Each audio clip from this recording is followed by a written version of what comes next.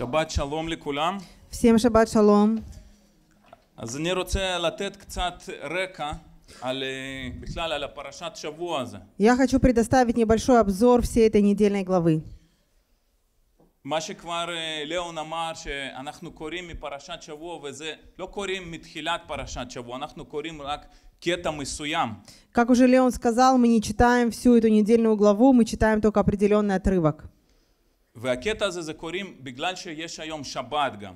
И э, эту- этот отрывок мы читаем из-за того, что сегодняшний день выпадает на шаббат. ובימים האחרים קוראים במשך, במשך חג קטעים אחרים גם, כמו שגם מרק דיבר על נגיד שירת הים. А, И в друг- если бы, э, как в других э, годах, праздник выпадал на другие дни, то всю неделю мы читаем другие отрывки из Писаний. И Вот как Марк, на- э, да, Марк нам сегодня сказал про песень э, прохождения моря. אבל כל הפרשת שבוע הזאת היא מיוחדת כי שם קרה משהו מאוד מאוד רציני.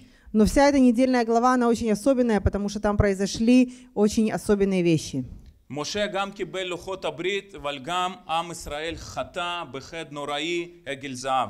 А, С одной стороны, Муше получил э, скрижали завета, а с другой стороны, народ согрешил ужасным грехом, они сделали себе золотого тельца.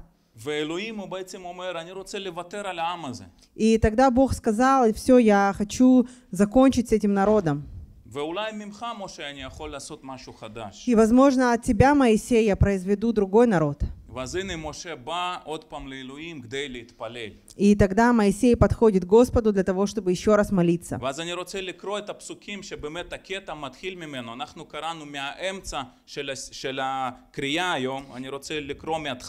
И я хочу прочитать эти стихи, э, с которых начинается этот отрывок. Мы читали посередине, я хочу прочитать э, сначала. Э, с 33 главы, с 12 стиха. «Вайомер Моше Эль Адунай, ראה, אתה אמר אלי, האל את העם הזה, ואתה לא הודעתני את אשר תשלח עמי. ואתה אמרת, ידעתיך בשם, וגם מצאת חן בעיניי. ואתה, אם נא מצאתי חן בעיניך, הודיעני נא את דרכך, וידעך, למען אמצא חן בעיניך, וראה, כי עמך הגוי הזה. ויאמר, פניי ילכו, ונחותיך לך, ויאמר אליו, אם אין פניך הולכים, אל תעלנו מזה. ובמה ידע, אפוא כי מצאתי חן בעיניך, אני ועמך, הלא בלכתך עמנו, ונפלינו אני ועמך, מכל העם אשר על פני האדמה. Моисей сказал Господу, вот ты говоришь мне, веди народ сей, а не открыл мне, кого пошлешь со мною, хотя ты сказал, я знаю тебя по имени, и ты приобрел благоволение в очах моих. Итак, если я приобрел благоволение в очах твоих, то молю, открой мне путь твой, дабы я познал тебя, чтобы приобрес- приобрести благоволение в очах твоих, и помысли, что сии люди твой народ. Господь сказал, сам я пойду и веду тебя в покой. Моисей сказал ему, если ты не пойдешь с нами, то и не выводи нас оттуда, ибо почему мне знать, что я и народ твой приобрели благоволение в очах твоих? Не потому ли, когда ты пойдешь с нами, тогда я и народ мы будем славнее всякого народа на земле». Вы видите такой диалог между э, Моисеем и Богом.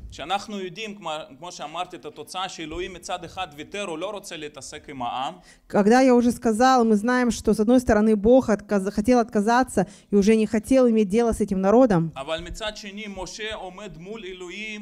אבל מצד שני משה עומד מול אלוהים וכן מנסה לשנות משהו. но с другой стороны Моисей встал между народом и Богом и да, пытается кое-что изменить. ואז אני רוצה להדגיש פה כמה דברים ואנחנו ככה נעבור על, הפרקי, על, על הפרק הזה ונדבר על מספר נקודות. И Я хочу подчеркнуть здесь несколько вещей. Мы пройдем эту главу и мы посмотрим несколько э, точек. משה הוא, כשמדבר עם אלוהים, מציין כמה נקודות חשובות. Э, Когда Моисей говорит с Богом, он э, упоминает несколько важных пунктов. כתוב בפסוק 12, הוא אומר לו, הוא, מ- הוא מדגיש את זה, הוא אומר, אתה ידעת אותי בשם וגם מצאתי חן בעיניך. А, Когда Моисей в 12 стихе говорит Богу, он говорит, «Э, ты знал меня по имени, и я приобрел милость в глазах твоих. אז הנקודה הראשונה שאני רוצה לדבר זה למצוא חן בעיני אלוהים. Первое, о чем я хочу говорить, это приобрести милость в глазах Бога. תחשבו כרגע, גם לעצמכם, איך אני יכול למצוא חן בעיני אלוהים? Подумайте про себя, как я могу приобрести милость в глазах Бога? מה יקר בעיני אלוהים? מה נדרש ממני? Что дорого в глазах Бога? Что Он требует от меня? אנחנו בתור בני אדם כולנו מכירים ביטוי כזה, הנה הוא מוצא חן בעיניי, היא מוצאת חן בעיניי. Мы все знаем э, на иврите, когда говорят э, «приобрел милость», то есть очень простой перевод «он мне нравится» или «она мне нравится». אז אתה מסתכל על בחורה, אולי אתה מסתכל על, את מסתכלת על גבר, אתה רואה, את רואה פנים יפות, אולי גוף יפה, ואתה אומר וואו, Например, девушка смотрит на парня или парень смотрит на девушку, а, видит красивое лицо, хорошую фигуру, и тогда он думает, она мне нравится, он мне нравится.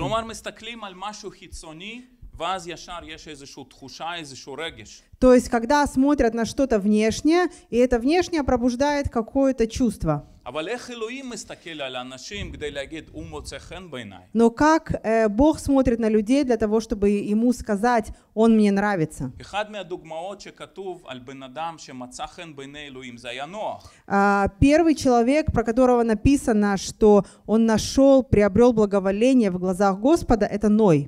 ואז אחרי זה, ממש אחרי הפסוקים האלו, זה כתוב בבראשית, אלוהים אומר, מה התכונות שהיו אצל נוח? А, и потом сразу боже- после того, как написано, что Ной приобрел благоволение, написано, какие качества были у Ноя. הוא אומר, הוא היה איש צדיק ותמים לפני אלוהים. Написано, что он был праведен и непорочен перед Богом. כלומר, ההליכה של בן אדם, מה שהוא עושה בחיים שלו, יכולה להשפיע האם אנחנו מוצאים חן בעיני אלוהים או לא. То есть наше хождение а, в каждодневной жизни перед Богом может определить, находим ли мы милость в глазах Господа или нет.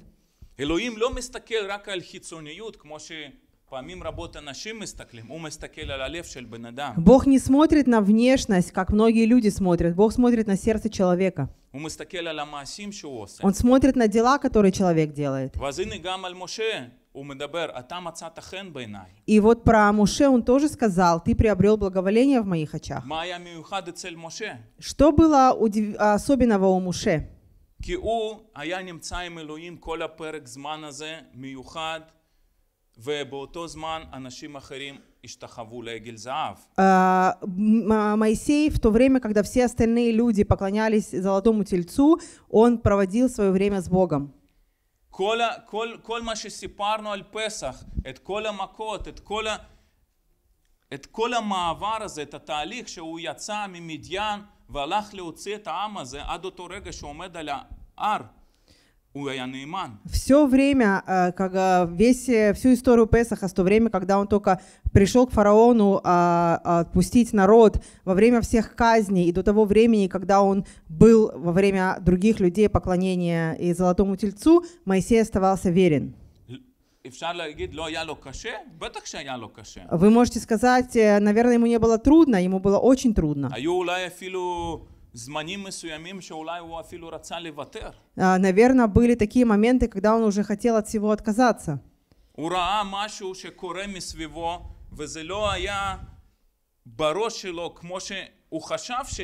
Он видел вещи, которые происходят вокруг, и он думал, что все будет совершенно по-другому. Потому что Бог обещал одно, а вдруг вокруг происходит как будто что-то другое. Но он все равно оставался верен и ходил с Богом, несмотря ни на что, и ни на все, что происходило вокруг. Поэтому найти благоволение в очах Бога, это зависит от того, что есть у нас в сердце. אתם זוכרים את הסיפור כששמואל הגיע למשוך את דוד למלך? Вы помните, когда э, Самуил пришел к Давиду, чтобы помазать его в, э, в царя? אז לפניו יצאו כל האחים שלו והם ב- היו באמת יפים וחזקים.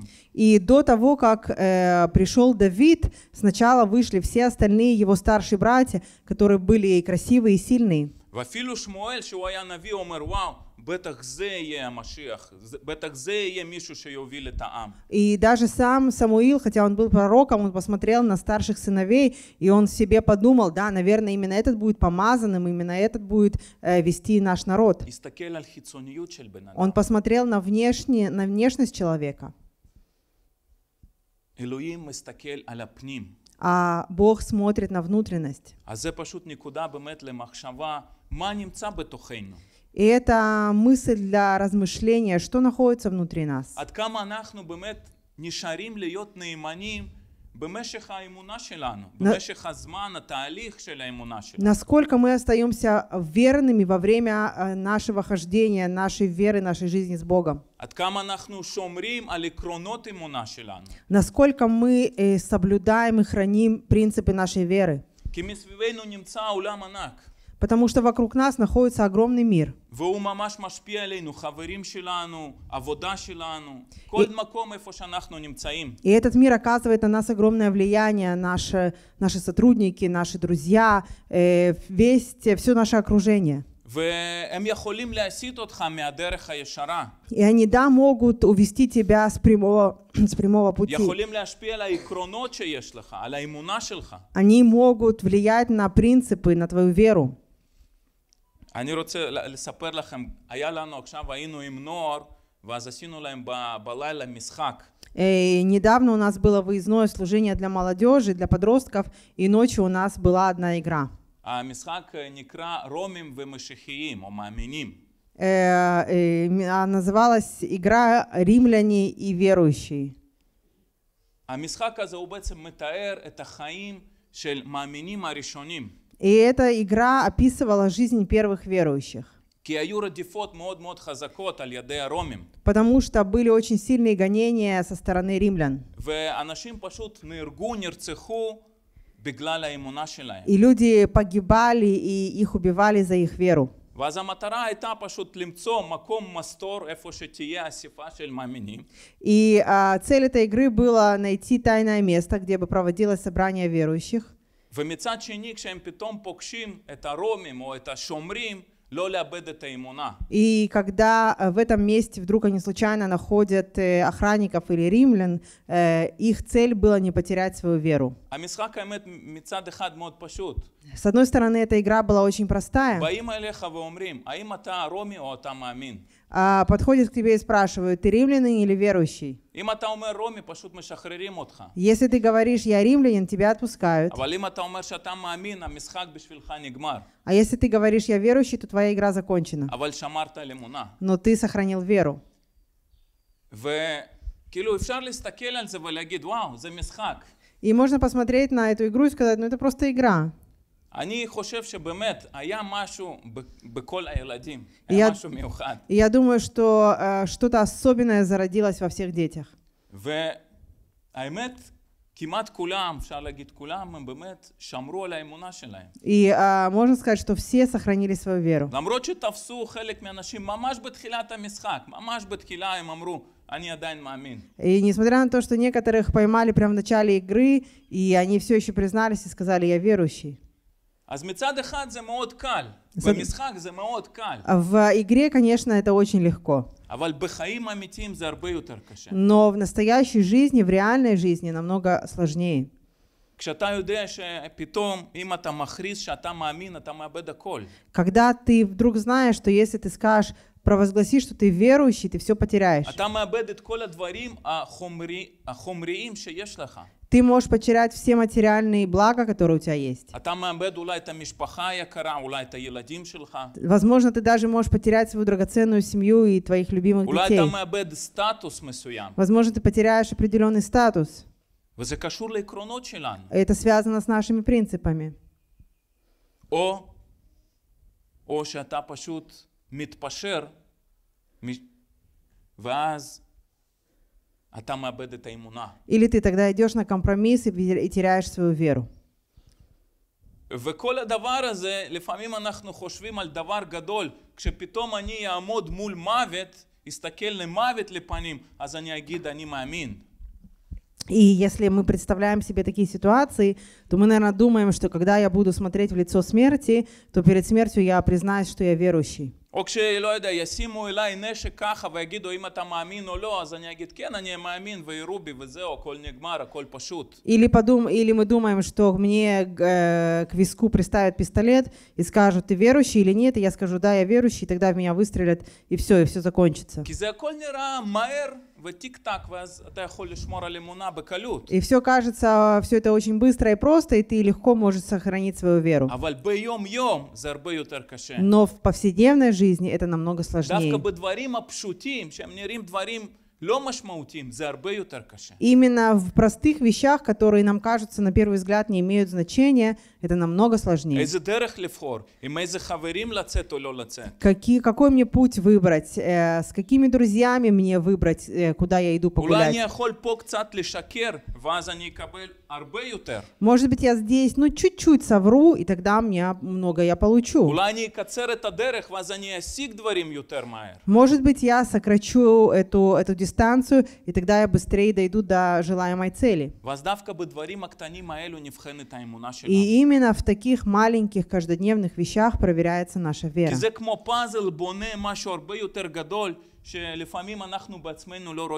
Потому что это как мозаика, которая строится из мелких деталей, и мы не видим всей картины. Но когда Бог смотрит на нас сверху, Он все это видит. И тогда Он говорит, она мне нравится, Он нашел благоволение в רואה- очах моих. איך הוא הולך, איך היא הולכת יום-יום. Потому что я вижу, как они идут каждый день. אז זה בעצם נקודה שרציתי להעביר לכם, ראשונה. Это тот первый пункт, которым я с- хотел с вами поделиться. אז אלוהים, Были люди, про которых написано, что они нашли благоволение в очах Господа. Были люди, которые были праведниками и делали э, праведные дела. Но про Моисея здесь написано что-то особенное, э, что не написано больше ни про кого. Он говорит, я узнал тебя по имени. Что значит я э, знаю тебя по имени? Это не- ברור, ברור שאלוהים הוא מכיר את כולם. Естественно, Бог знает всех. הוא מכיר את כל בן אדם, מכיר את האופי שלו, מכיר הכל. Он знает каждого человека, он знает наши характеры, естественно, он все знает.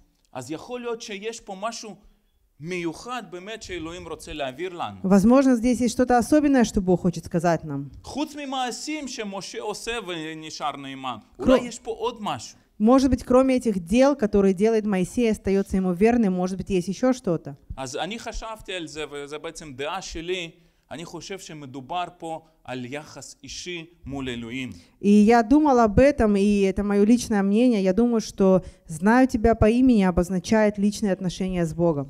וזה באמת מתבטא בפסוקים שמשה בעצמו אומר, הוא אומר, הודיעני נא את דרכך ואדעה אותך. А, Здесь э, Моше, когда говорит, פסוק 13. он говорит, «Э, если я приобрел благоволение в очах твоих, то молю, открой мне путь твой, ואדע אותך. дабы я познал тебя. כלומר, משה הוא בא וכל הזמן מנסה להיות עם אלוהים. То есть мой, Моисей каждый раз искал близкого общения с Богом. מה הוא עשה בעצם? זה משהו שממש כתוב לפני הקטע שקראנו. Что он делал? Здесь написано э, в этом отрывке, который мы читали. לא, לפני שקראנו את הקטע, דותו. יש שם קטע אחר שהוא אומר, הוא בא ובונה לעצמו אוהל מיוחד. А, До того, как мы прочитали это местописание, написано, что он пришел в это определенное место, и он построил себе палатку, шалаш. И он э, назвал этот шалаш скиния собрание. Это не та скиния собрания, которую он должен был потом построить. Он построил особенное место, шатер, куда он может приходить и быть с Богом.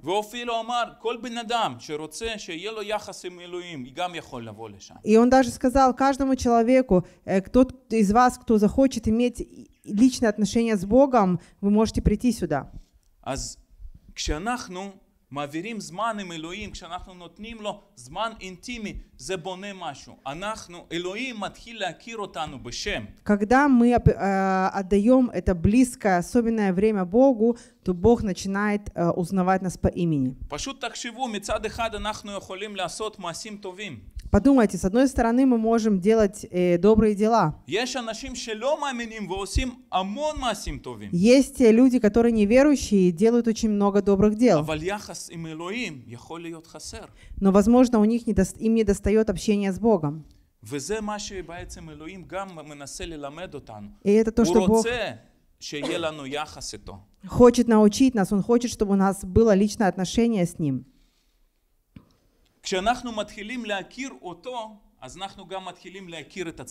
Когда мы начинаем познавать Его, мы начинаем лучше узнавать себя. И одно из целей Моисей, которое озвучивает, он сказал, я хочу узнать твой путь. И с одной стороны путь, с другой стороны он говорит, я хочу узнать тебя на личном уровне.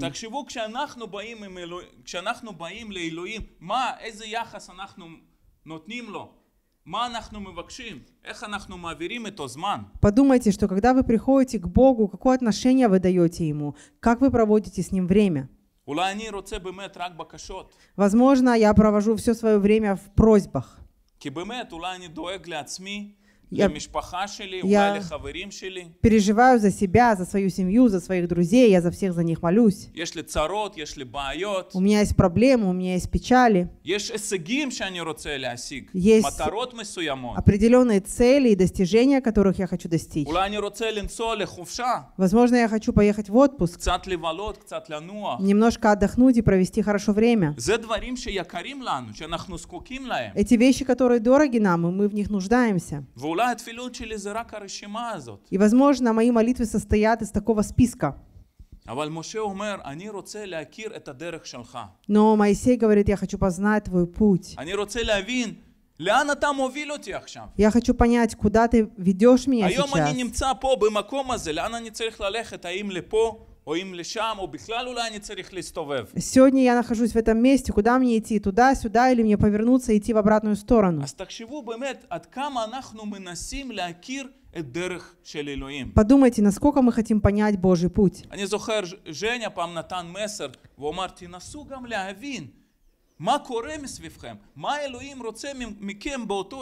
Подум... Я помню, что Женя однажды говорил э, о том, подумайте, что вок... Э, происходит вокруг вас, и, и попытайтесь найти путь э, вашего общения с Богом. כלומר, להבין מה אלוהים רוצה ממך. פניית. לאן, ל- ל- ל- לאן ללכת, Что Бог хочет от вас, куда вам идти, ואז להכיר את האופי שלו. и тогда узнать Его характер. אנחנו פה היום את החלק שקראנו על אה,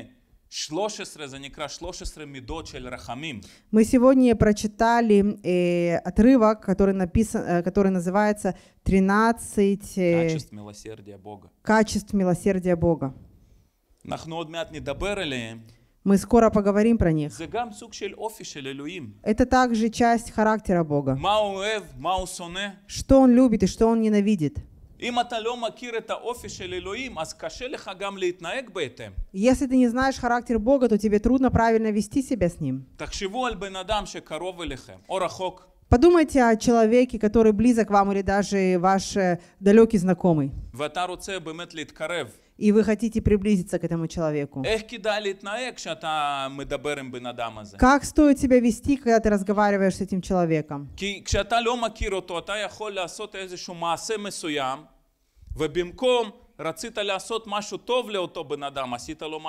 Например, когда ты не знаешь э, человека, и ты хочешь э, сделать определенный поступок, и вместо хорошего получается плохое.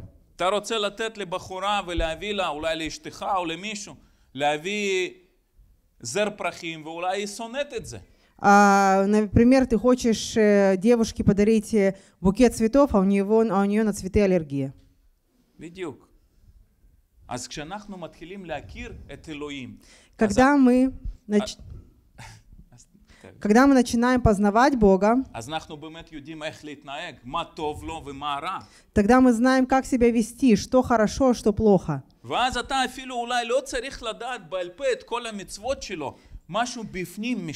И тогда тебе не нужно даже наизусть знать все заповеди, просто что-то внутри тебя меняется.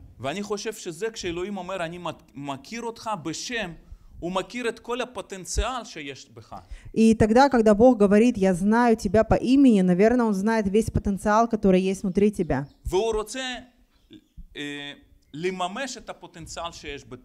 И он хочет использовать этот потенциал, который есть внутри нас.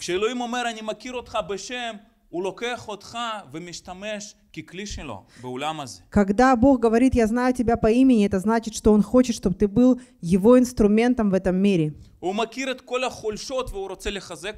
Он, он знает все твои слабости и хочет укрепить тебя. И, как... גם תדע את כל החולשות ואיך להתחזק. И когда ты приближаешься к Нему, ты знаешь все, спасибо, дорогая, все слабости и как э, приблизиться к Нему. אז זה בעצם הנקודה השנייה. Это второй момент. למצוא חן בעיניים ולהכיר אותו בשם. אה, להכיר אותי בשם. Обрести милость в Его глазах и познать Его по имени. לחפש את הרצון שלו, А, Искать Его желание. ולחפש אותו, לחפש את ה... И искать его, искать, чтобы познать его. Еще один момент, который мы видим здесь. Вы помните, что я сказал, что Бог хотел отказаться от народа. הוא עדיין עומד בשלו והוא כל הזמן מפגיע עבור העם. Но Моисей стоял э, между Богом и народом и каждый раз ходатайствовал за народ. אז אני רוצה לדבר קצת על הפגעה. Я хочу говорить немного про ходатайство. אנחנו, אנחנו קוראים פה שמשה אומר ב... בפסוק 16. Мы здесь читаем то, что Моисей говорит в 16 стихе. Ибо почему узнать, что я и народ твой обрели благоволение в очах твоих? Не потому ли, когда ты пойдешь с нами, тогда я и народ твой будем славнее всякого народа на земле? Он говорит, а мы нашли благоволение в очах твоих, я и народ. מו- אלוהים לא דיבר על זה, על העם, הוא דיבר רק על משה בינתיים. Бог пока не говорил про народ, Бог говорил только про самого Моисея. אבל הנה יש פה תכונה מאוד מיוחדת של איש מאמין. Но вот здесь есть качество, очень особенное качество верующего человека. וזו תכונה שצריכה להיות אצל כל אחד מאיתנו. И это качество, которое обязано быть у каждого из нас. לעמוד בעד מישהו, להפגיע בעד מישהו. Стоять за кого-то, ходатайствовать за кого-то. גם אם אלוהים שם עליו כבר, אני לא יודע, שם עליו אה, זהו איקס, Даже если уже תמיד אפשר לשנות משהו. Бог зачеркнул его, всегда можно а, что-то сделать. אתם זוכרים את אברהם?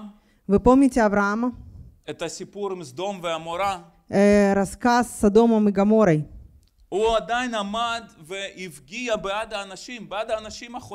Он стоял и ходатайствовал за этих грешных людей. Он даже никого там не знал, кроме одного, кроме самого дорогого человека ему. И тогда он ходатайствовал за многих. Моисей знал свой народ. И он сам злился на свой народ. На то, что он, на то, что они сделали, он очень сердился, но он все равно не переставал ходатайствовать за них. Иешуа сказал, любите врагов ваших. Э, есть много людей, которые не являются нашими врагами. Есть даже наши близкие, которые нас раздражают. Есть такие. Есть люди из нашей общины, которые раздражают нас. Не со всеми мы добрые друзья. Но вот это качество ходатайствовать за людей, которые упали, которые согрешили, которые раздражают тебя, которые ненавидят тебя молиться за них, чтобы Бог изменил что-то в их сердце. Мы не можем изменить дела других людей. И если вы думаете, что вы можете изменить чьи-то дела, так вы глубоко заблуждаетесь. Мы можем попытаться, не всегда это работает, иногда это работает. Если, если у нас есть определенный статус, определенное влияние, возможно, э, люди очень близкие нам, которые живут с нами каждый день. Но на самом деле наше самое лучшее влияние это через наши дела. Через наш личный пример, который мы даем. И не только через наши слова. אז הנושא שאני רוצה להעביר פה זה באמת הפגעה ותפילה. И тема, которую я хочу передать вам, это молитва и ходатайство. אל תוותרו על התפילות, חבר'ה. Не эм, отказывайтесь от молитв. לפעמים יש כבר גזירה של אלוהים, Иногда уже есть э, приговор Бога, אבל אפשר לשנות אותו. но его можно изменить. כי אנחנו פה קוראים שאלוהים הוא- הוא אל רחום וחנון, Написано, что Бог милостивый и милосердный. והוא באמת יכול לשנות את הגזירה שלו אם יש תפילה, אם יש שינוי. И Он может изменить свой приговор, если есть изменения, если мы не перестаем молиться. אתם זוכרים את הסיפור עם נינביה? Вы помните рассказ с Ниневией? על יונה שהלך לנינביה ובישר להם. Пророк Иона, который пошел в Ниневию и э, благовествовал им. הייתה גזירה מאלוהים כבר, להשמיד אותם. У Бога уже был приговор, Он хотел их уничтожить. אבל הנה, התפילה שלהם והצום שלהם עזר. Но их пост и молитва помогли. אתם זוכרים, אולי שמעתם, קראתם סיפור על איזקיה שהיה מלך. Вы помните и читали, наверное, э, рассказ про царя Изекию. הוא באמת האמין לאלוהים, הוא הלך לפני אלוהים, עשה כל מה שצריך. Он верил в Бога, он был верным Ему, он делал все, что Бог требовал. ואז הוא נהיה חולה. А потом он заболел. ואז אלוהים הגיע ואמר, זהו, דרך הנביא אמר, И потом через пророка Бог сказал ему, ты скоро умрешь, сегодня ты умрешь, ты не поправишься. Вот уже был произнесен приговор от Бога.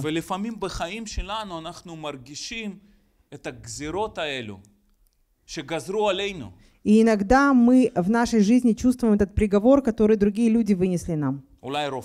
Возможно, э, врачи возможно, на работе. Есть различные приговоры.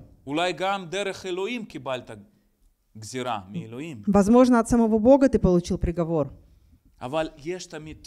Но всегда есть надежда. Я не говорю, что однозначно все изменится. אבל כן אנחנו יכולים לדעת ואנחנו יודעים שאלוהים הוא אל רחום והוא יכול לשנות. Но мы знаем, что Бог прежде всего милосердный и милостливый, и Он способен все изменить. ואנחנו יכולים וחייבים להמשיך להתפלל עד הרגע האחרון. И мы можем, и мы должны молиться до последнего. וכמו שאיזקיה הוא פשוט הסתובב והוא בכה לפני אלוהים. И как Изекия отвернулся и начал плакать перед Богом, והוא אמר, אני שירתתי לך, он сказал, я служил тебе. Я сейчас уйду, что останется. И Бог тогда вернул пророка Исаию и сказал, я прибавляю тебе еще 15 лет к жизни твоей. Не нужно э, отказываться от наших молитв. Молитесь до самого конца. יש לפעמים מחסום Иногда ב- есть בתפילה. как будто стена, которая стоит перед вами в вашей молитве. גם אולי אתה מרגיש את זה רוחני, אולי אתה מרגיש דברים פיזיים שלא קורים. Э, Возможно, ты это чувствуешь духовно или ты видишь физически ничего не происходит. תמשיכו להתפלל, Продолжайте молиться, כי אלוהים יכול לשנות. потому что Бог способен поменять. אני ממשיך. Я продолжаю. ואחרי כל זה פתאום אנחנו רואים מה שמשה מבקש מאלוהים. И после всего этого мы видим, что Моисей просит у Бога. דבר האמת נפלא, שכל אחד מאיתנו אולי רצה לבקש את זה מאלוהים. Чудесная вещь, которую, возможно, каждый захотел бы получить от Бога. קודם כל אלוהים מבטיח לו, אני אעשה את מה שביקשתי, מ- ביקשת ממני. Во-первых, Бог обещает ему, я сделаю то, что ты просил у меня. ואז בפסוק 18 משה אומר, ויאמר, и потом в 18 стихе написано, Моисей сказал, покажи мне твою славу. Я хочу увидеть, кто ты. Я хочу каким-то образом почувствовать тебя ближе, на физическом уровне. Почему народ Израиля сделал золотого тельца? וזאת הבעיה של כל הדורות עד היום. И это проблема всех поколений до сегодняшнего дня. מאוד קשה לבן אדם להשתחוות לשרת, להאמין במשהו שאתה לא רואה. Очень сложно физическому человеку верить, служить, надеяться на что-то, что ты не видишь. נכון? יש אנשים לא מאמינים, הוא אומר לך, תראה לי איפה אלוהים, איפה הוא? אני לא רואה אותו. יש הנה, люди- אני מדבר עליו, מחלל אותו, לא קורה לי כלום. которые не верят в Бога и говорят, ну покажи мне, где твой Бог, вот, покажи, я его не вижу. Я про него говорю, я даже могу его проклинать, и ничего со мной не происходит. אנשים רוצים לראות, תראה לי משהו. Они хотят видеть, покажи мне что-то רוצים физическое. לבוא, לגעת, למשש, להרגיש. Хотят прийти, почувствовать, э, прикоснуться к чему-то. עם ישראל היה במדבר, מישהו איפשהו מדבר דרך משה, ומשה מעביר את ה... כל מיני מצוות. Народ Израиля был в пустыне, а кто-то там говорит с Муше, а Муше передает. מה הוא אומר? כל מיני דברים מוזרים שבחיים לא עשינו את זה. Что он говорит? Какие-то странные вещи, которые мы никогда не знали и не делали. אז היה להם הרבה יותר קל לבנות משהו ולהגיד, הנה אלוהיך שהוציאך ממצרים. И поэтому им намного легче было а, что-то физическое постру- поставить и сказать, вот твой Бог, который вывел тебя из Египта.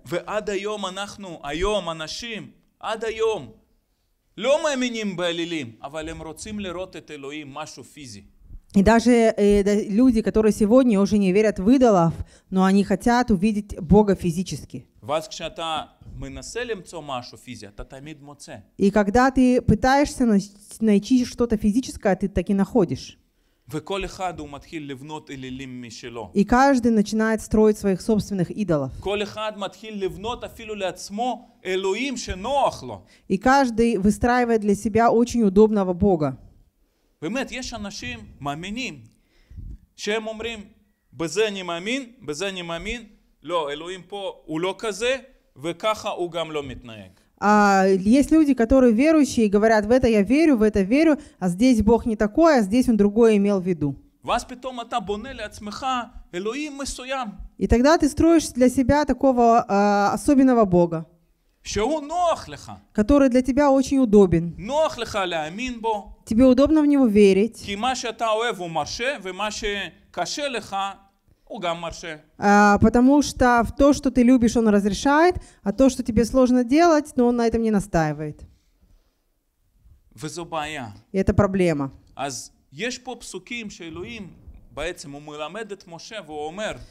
И здесь есть э, стихи Писания, когда Бог э, учит Моисея, он говорит ему. В 20 стихе написано. לא תוכל לראות את פניי כי לא יראני אדם וחי ויאמר אדוני הנה מקום איתי ניצבת על הצור והיה בעבור כבודי ושמתיך בקרבת הצור, בנקרת הצור ושחיתי כפיי עליך על עב- עברי והסרתי את כפיי וראית את אחורי ופניי לא יראו Написано, и потом сказал он, лица моего не можно тебе увидеть, потому что человек не может увидеть меня и остаться в живых. И сказал Господь, вот место у меня, стань на этой скале. Когда же я когда же будет проходить слава моя, я поставлю тебя в расселении скалы и покрою тебя рукою моею, доколе не пройду. И когда сниму руку мою, ты увидишь меня сзади, а лицо мое не будет видимо. אז הוא אומר, את הפניי אתה לא תוכל לראות, אבל תוכל לראות את האחורי. Он говорит, «Э, ты лица моего не можешь увидеть, но увидишь меня сзади. כלומר, את הפניי, את הפנים, את כל המשמעות, אתה לא תוכל לראות. То есть лицо, все, всю сущность Бога ты не можешь увидеть. ואתה יכול לראות רק קצת ממני. Ты увидишь только немножко от Него. והנקודה פה שהוא אלוהים, הוא שם את משה על הצור בנקרת הצור. И здесь э, э, очень важный момент, что Бог ставит Моисея не на скалу, а в расщелину скалы. לא, זה על הצור בנקרת הצור, בפנים. ו- מילה הצור внутри. היא חשובה פה. Э, Важное э, слово здесь скала, то есть он ставит внутри скалы. והצור זה קורה מאותו קורן ש- כמו ציור. А э, р- э, скала э, однокоренное слово с э, словом рисунок. כשבן אדם, אפילו אם יש פה אומנים, כשהוא מצייר משהו, הוא בעצם מראה בתמונה את, המ- את המציאות, איך הוא רואה אותה. А, Когда э, художник э, пишет картину, он, види, он показывает в реальности, что он видит, как он это представляет. הוא מראה את המציאות שלו. Он показывает э, свою действительность. אז בעצם מה שאלוהים רוצה, הוא רוצה להראות למשה את המציאות מיהו האלוהים, אבל רק קצת מהמציאות האמיתית. То, что Бог хотел показать Моисею, это действительно, свою действительность, но только совсем немножко. ולמה זה חשוב? И почему это важно? כי כמו שאלוהים אומר, אתה לא יכול בכלל להרגיש או להבין אותי, כי אני כל כך גדול. אם אתה אפילו תנסה, אתה פשוט תמות. Бог говорит, ты не можешь меня познать полностью, даже если ты попытаешься, ты умрешь, потому что я э, очень великий. בגלל זה הוא אפילו מחביא אותו, הוא מ- הוא שם אותו בתוך הצור, במקום הצר הזה. הוא אומר, אתה תראה את המציאות, אבל חלקית. Поэтому он даже прячет его, он ставит его в расщелине скалы, чтобы спрятать его. Он говорит, ты увидишь мою сущность, но только частично. יש מדרש כ- כזה על אה, כמה חכמים שהם נכנסו לפרדס ורצו להבין את אלוהים, להכיר אותו. А есть э, мидраж про не- несколько мудрецов, которые куда зашли? פרדס. В, это, Ган Эден. э, в рай и пытались понять Бога. וכתוב על אחד שהוא פשוט מת במקום. Про одного написано, что он умер на месте. והשני כשיצא משם הוא, הוא ראה רק קצת ממה שקורה והוא פשוט השתגע. А второй, который зашел туда, он увидел только маленькую часть и сошел с ума. אז כשאנחנו ממש, כשאלוהים, אם הוא יראה לנו יותר ממה שאנחנו צריכים, אנחנו לא יכולים לשאת את זה, אנחנו יכולים לסבול, להשתגע, פשוט למות. Поэтому Бог, даже если Он покажет нам только совсем маленькую часть, мы можем э, умереть или сойти с ума. בגלל זה הוא מראה לנו את רק מה שמותר לנו ומה שאנחנו צריכים. Поэтому Он показывает нам только то, что мы можем, способны увидеть, и то, в чем мы нуждаемся. אני זוכר פעם לפני מספר שנים, я помню, что один раз, э, несколько лет тому назад, у нас здесь была группа молодежи, и мы начали петь э, песни прославления. Ничего особенного не было, просто было обычное прославление.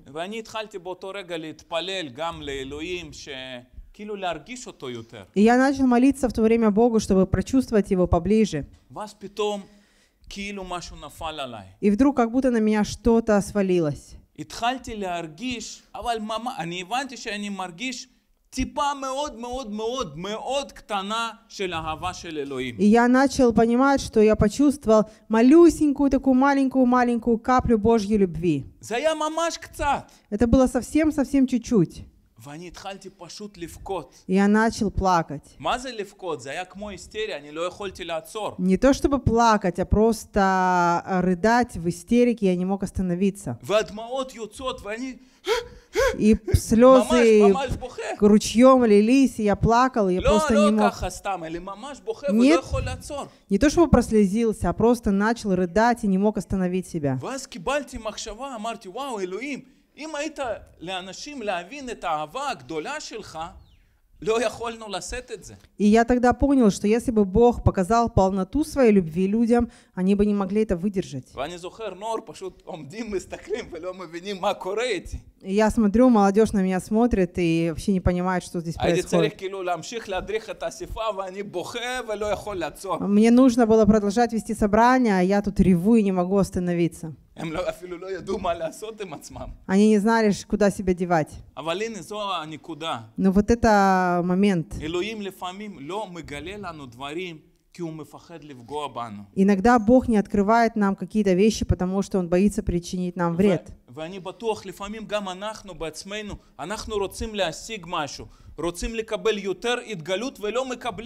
И иногда мы хотим достигнуть чего-то, хотим получить больше откровений, не получаем. И, вопрос, и ответ э, таков, что, скорее всего, может быть, ты еще не готов. Возможно, нужно еще какое-то время, и Бог тебя откроет больше. אז אה,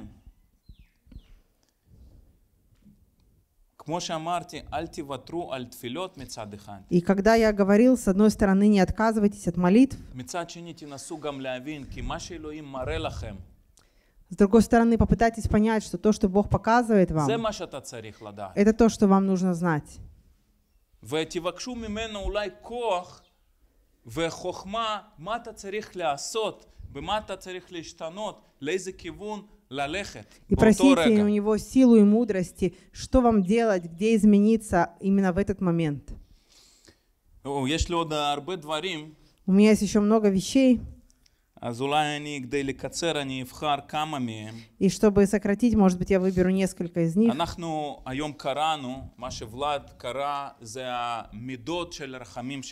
Мы сегодня прочитали э, это э, качество милости Бога. Там есть 13 качеств. Я хочу выбрать сейчас только одно.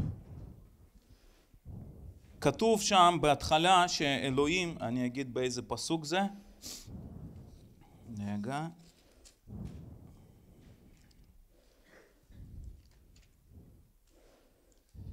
כתוב את זה בפסוק, אה, ש... בפסוק 7, 34. ב-34 פסוק 7. Э, написано в 7 стихе 34 главы. נוצר חסד לאלפים, נושא עוון ופשע וחטאת ונקי לא ינקה. Написано, сохраняющий милость в тысячи родов, прощающий вину и преступление и грех, но не оставляющий без наказания. אז הנה כתוב פה שהוא, הוא לא סולח, לא כתוב שהוא סולח חטא ועוון ופשע, אלא כתוב שהוא נושא. Ну, не з- прощающий написано. На иврите, прощающий. на иврите не написано, что он прощает. На русском переведено, что он прощает. А здесь слово, что он... Носе. Сам шело. Что он Сам берет на себя грех и вину. ואתם יודעים, זה מוזר. Это странно. שעכשיו אלוהים של משה, של של, של העם שחוטא, ואומר, אני נושא את העוון. И э, вы знаете, это звучит странно, что вот представьте Бог, который приходит к Моисею в пустыне, и он говорит, что я беру на себя эту вину. כלומר, מ- משהו שזה כאילו קורה פיזית. Такое ощущение, как будто это происходит э, физическим образом. כי סולח זה ברור, סלחתי וזהו, זה משהו, משהו, משהו רוחני כזה, אמוציונלי אולי,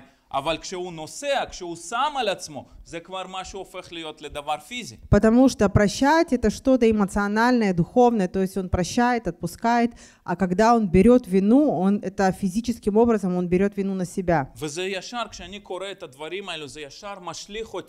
וזה ישר, כשאני קורא את הדברים האלו, זה ישר משליך אותי לפרק לישעיהו נ"ג. И когда а, я читаю эти слова, меня, естественно, сразу э, вспоминаю Исаия 53 главу. כי, כאן כתוב, כי שם כתוב שאלוהים בוחר במישהו שבאמת נושא את העוון, это пеша, это хет, шелькола, амшело. Потому что там написано, что он э, выбрал кого-то, который возьмет на себя грехи, преступления всего народа. Давайте прочитаем. Я знаю, что есть люди, которые знают это наизусть, а есть люди, которые никогда не слышали об этом.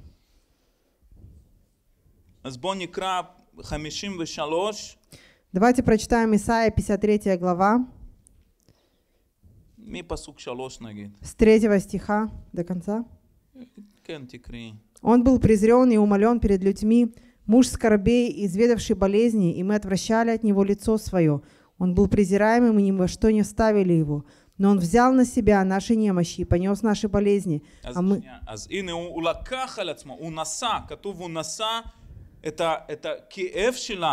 Тут тоже слово. שלנו. Тут абсолютно то же слово, когда написано, он взял на себя наши немощи и понес наши болезни. בפסוק חמש, הוא מחולל מפשענו, מדוכא מעוונותינו.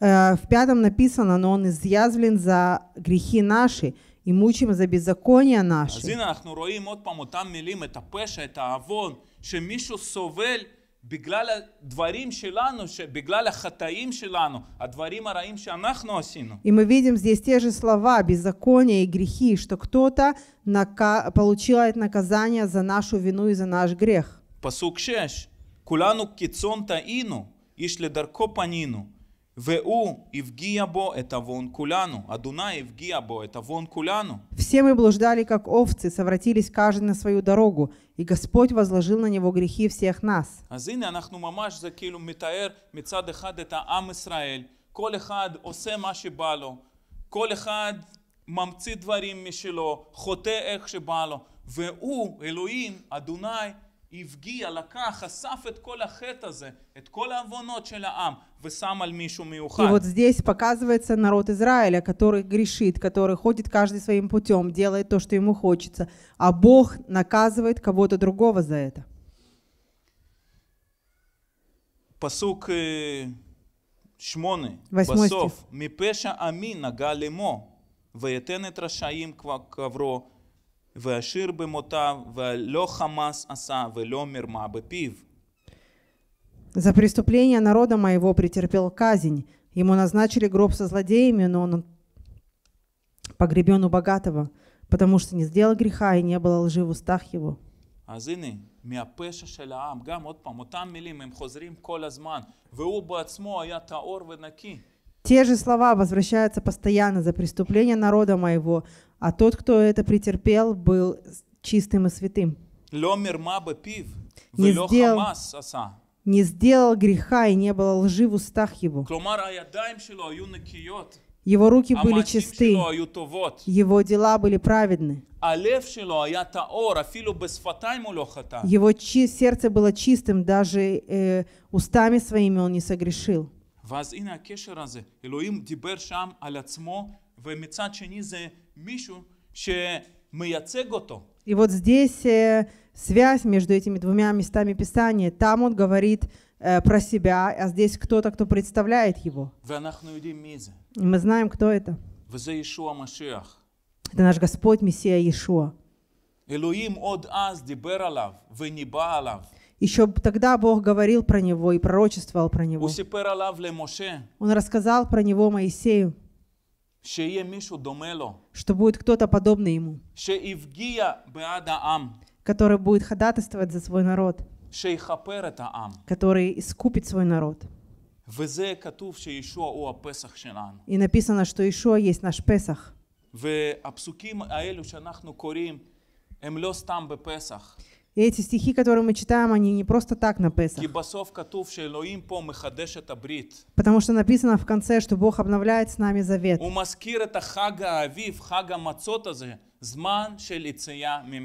Он напоминает нам в этот праздник время выхода из Египта. Мы вышли из Египта. Мы вышли из северной страны. אנחנו יצאנו מעבדות של חטא. Мы вышли из рабства греха. ואז אלוהים רוצה שאנחנו נזכור את הרגע הזה. И Бог хочет, чтобы мы помнили этот момент. ושלא נשכח. И чтобы мы не забывали. פעמים רבות אנחנו מנסים לשכוח את הדברים הרעים, איך התנהגנו ומה עשינו. Часто мы пытаемся забыть плохое, что мы сделали, когда мы себя недостойно вели. אבל אלוהים אומר, но Бог говорит, помни, кем ты был в Египте. Помни, откуда я тебя вывел и поставил тебя на новый путь. Потому что если ты забываешь, ты можешь перевернуть то, кем ты был. Праздник опресноков заканчивается.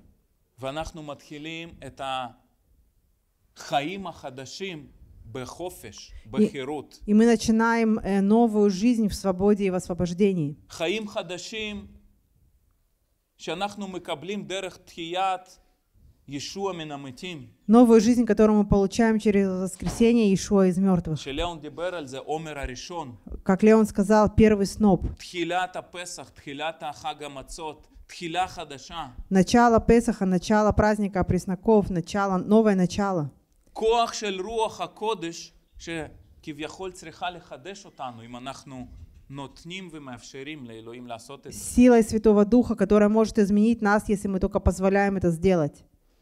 אז אני פשוט קורא לכם היום, Я хочу призвать вас сегодня תחילה חדשה, כנו. תתקרבו לאלוהים, к новому началу, приблизьтесь к Богу, כדי